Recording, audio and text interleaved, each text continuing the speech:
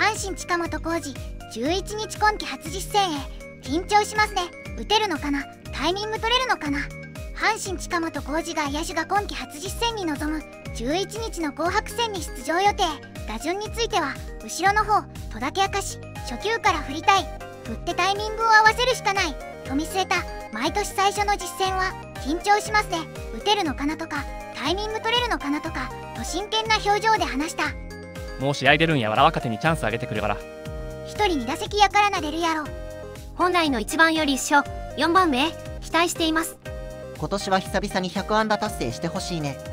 タイガース全選手の中で一番安泰なのが彼。今年優勝できたら彼が MVP だと思います。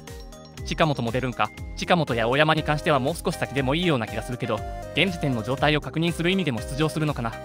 近本選手のような期待のヒットメーカーでも打てるのかなとかタイミング取れるのかなとか不安に陥るのか裏を返せばだから練習に打ち込めるのですね。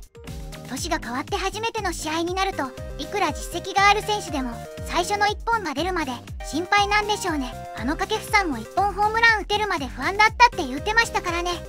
近本とかこの時期の紅白戦出る必要ある。ほぼ全員出るやろ。近本が何番を希望したか気になるけどどこでもいいっすよって言ってるやろなわら後ろの方らし。いいつも思うが近本はあれだけ足上げた状態でよく球を待てるな。ほんと近本のバッティングは体がぶれないな。今年も近本に大注目。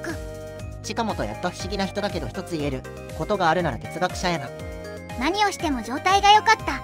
良い状態で打つことが練習じゃない。状態。悪くなりたかったのにならんかった。練習にならんから止めた。近本浩二何言ってるか全然わからん打てなかったら打てなかったことを喜びそうで怖い笑い。近本でも緊張するんやな。ご視聴ありがとうございました。チャンネル登録よろしくお願いします